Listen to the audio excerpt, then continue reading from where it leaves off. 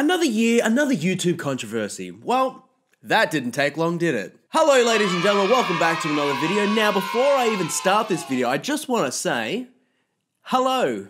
Maybe sub to the channel if you are new. If you have found this video somehow, some way, please sub to the channel. We are trying to get to 500 subs by the end of the year. Let's get this bread. Let's get it! Everybody on the platform has been talking about the mystery brand scam with Jake Paul and Rice Gum and Morgz. Now, I'm not going to be one of those people that does a video about the story and goes through and reveals all the facts. There are plenty of other YouTubers out there much better than I am that have already done that. So, by all means, go watch their videos, get informed about what the story is and why everybody is just so angry. This video is just going to ask the question. It's a question that really does need to be asked, I feel. Um, why do YouTubers keep falling for scams? Why do YouTubers keep promoting scams? And why do YouTubers think it's okay to scam their audience? If you have not heard of the mystery prize situation, um, first of all, where have you been for the past two days? Second of all, basically, it's like uh, it, it's like real life loot boxes that are being promoted to children. YouTubers like Jake Paul, Rice Gum, Morgz, they have all copped massive criticism over the past few days due to their participation in the Mystery Brand promotion. Now, Mystery Brand is basically a website where you, you buy prizes and you don't know what the prizes are and like you can pay maybe like $20 $50 $200 in the hopes that you're gonna get like some sick hot shoes or a, a massive mansion in la that's worth $250 million that's not actually owned by the website, or you could totally crap out and get an icicle, which, first of all, how the frig are you going to ship an icicle? Uh, in some ways, maybe it's good to win the icicle because you could possibly get a fridge or like a cooler box to come with it. I don't know. So there's a whole bunch of prizes that you can win. It's like totally fun. It's totally gambling as well. And all of these guys have had this in their video and said, look guys, check it out. I'm doing so well. Despite the fact that they were playing on a rigged version. And then they're like, hey, check out all my swag, bro. You want to get this swag too? Go to Mystery Brand, chuck a whole bunch of money in and you can maybe win some swag too. Sure. so the massive criticism came not so much for what the site is, but the fact that this was being promoted to children, two content creators in particular that have a massive audience in the child demographic, and also the fact that YouTube actually placed Rice Gum's video on the trending page. So everybody's been making videos exposing this company. There have actually been videos dating back to September and October where other YouTubers have outed this as being a total scam. Don't fall for it. And now here we are in 2019 and these YouTubers have either fallen for the scam or they've just completely disregarded that, hey, this is an obvious scam, but don't worry about it because uh, I'm going to get kids to give this place money and then I get money. And here we are with hellfire and brimstone raining down upon us. Now, when you first look at the website, if you are a rational human being, let's say an adult for an example, you see the fact that the site's incomplete, you see that the site is in like really strange broken English, and you see all these items that are worth a lot of money, and you wonder, hmm, how can this little crappy website have all of these things to give away? Hmm, Oh, wait, they don't. So if you have a functioning brain, you can look at this and say, this is a total scam. I don't want any part of it. But apparently, some people that haven't looked at this the same way are Jake Paul and Rice Gum. They either looked at this and said, shut up and take my money. I've got plenty of it. Or they said, hmm, this is kind of shady, but most of my audience are kids and they're not going to know the difference. So let's just let's just do it. Now, I'm not one to speculate, but if the second option was the case, and these guys said, hmm, I think I can get away with this, with a massive online commentary community like we have here on YouTube, how in the heck did you think that you would get away with that? Now, this actually comes on the back of another scam. I don't know if you remember back a few months ago, there was the whole Kenza Cosmetics scam. That was involving Tana Mongeau and Gabbie Hanna. These YouTubers were passing off really crappy quality makeup brushes as being worth 90 to $100 a pop,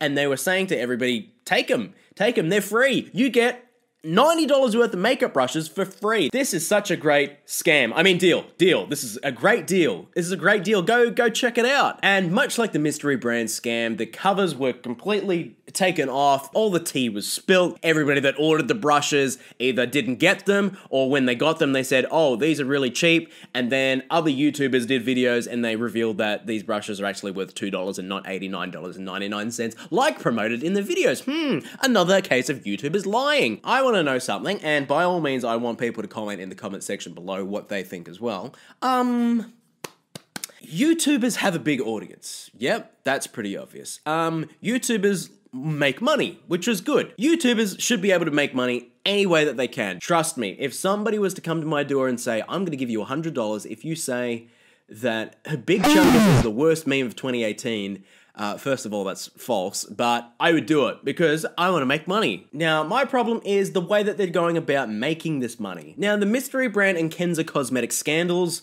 were obvious scams. It's a really worrying sign that something can just be so obviously a scam but the people promoting these, mm, they don't really seem to care. Now, I, as I mentioned before, there's a possibility of a few things happening. Number one, they're just oblivious to the fact and they just have no idea, which I have a hard time believing, first of all. Um, second of all, uh, guys like Jake Paul and Rice Gum have a media team, they have agents, they have PR teams. They should have people to look over everything, go through it with the proverbial fine tooth comb, if you will, and just make sure that everything is 100% legit so nobody's gonna get in trouble. That's what should be happening. But then again, these guys are adults and they should be held accountable for their own business deals. They're probably in the mindset of, I'm an adult, I can make my own deals, I can write my own checks, I can break my own necks, I'm a responsible adult, I'll do it myself. Either one of these options, very worrying, and it doesn't bode well for the future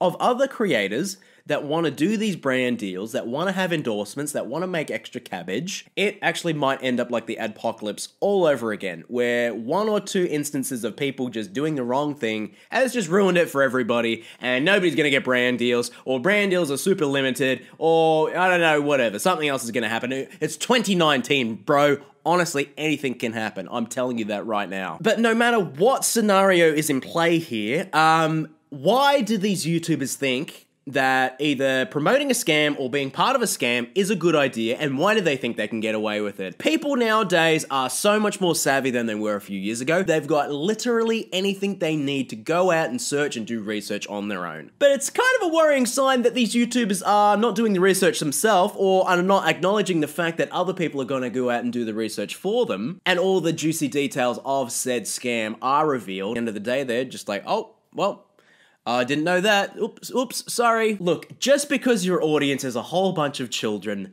doesn't mean that you can just do whatever you want, okay? That is a severe breach of trust, and it really does not paint a good picture for the YouTube community, for everybody else in the outside community, because this storyline is actually picking up mainstream attention. It's just gonna bring a whole bunch of negative press into the YouTube world, and people are just going to be questioning, well, why, why are my children trusting these online personalities? I trust them enough to let my children watch them unattended, and they're being told they can go on this website and gamble and hopefully win a big fat mansion or a super slick pair of Yeezys. All the while they're spending hundreds of V-Bucks or mum's credit card money. Very irresponsible that these YouTubers are not considering this fact, or if they are considering this fact, they're ignoring this fact. And what? How do you think that's a good idea? Like, why do you think that's a good idea?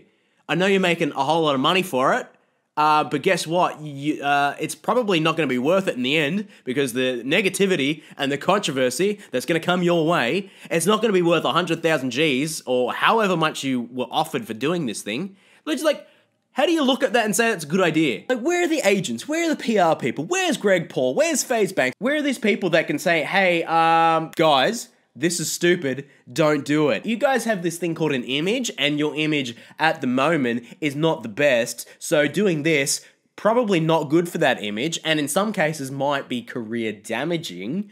So, why are you doing this? Don't be greedy, don't be stupid, don't do it. That's my advice. That's advice from an Australian YouTuber with no influence or clout at all that's just me giving out some real life advice, man. If you want some real life advice, hit me up on Twitter. I'm always going to be there for it. So again, it just goes back to the point of um, why do you think this is a good idea? How do you expect this to work? Or if you can't see this as a bad idea, um, why not? Uh, why don't you have people here helping you and telling you that this is a bad idea and why are you doing it? Don't do it. So, I don't know, Jake Paul, Rice Gum, Gabbie Hanna, Tanner, whoever, Yung Noodle Arm, stop being irresponsible, okay? So, if you can't see this thing as a bad idea, well, I would severely suggest that you take a long, hard look in the mirror and say, gambling's not for kids. You're not gonna win a house, you're not gonna win an icicle, you're not even gonna win a leftover pumpkin from Halloween. You're not gonna win anything from Mystery Brand, so stop it. Stop it. I don't know. It's very, it's very confusing. It's very disappointing. Uh, I expect more from my content creators, just personally, but maybe I've got lofty expectations. I don't know. Well, that is the, well, that's it from me. I hope you guys did enjoy this video. If you did enjoy this video, don't be shy. Drop a comment down below, slap a like on the vid, share the channel, sub to the channel, do whatever you feel. Uh, don't fall for any scams while I'm away. I'll be watching, don't worry about that. I'll know. I will know if you've done it. I will know. And I guess I'll see you next time. Bye bye.